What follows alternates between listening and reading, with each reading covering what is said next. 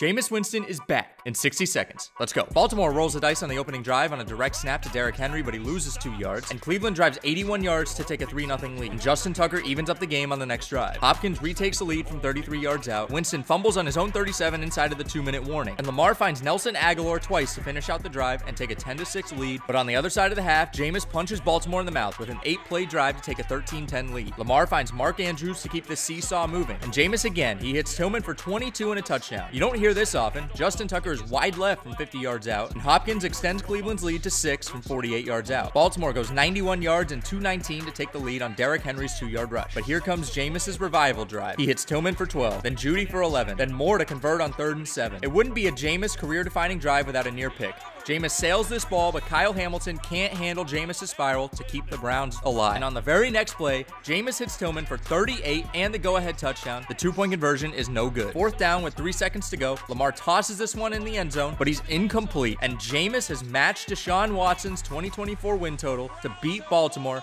and perfectly honor Jim Donovan to move to 2 and 6.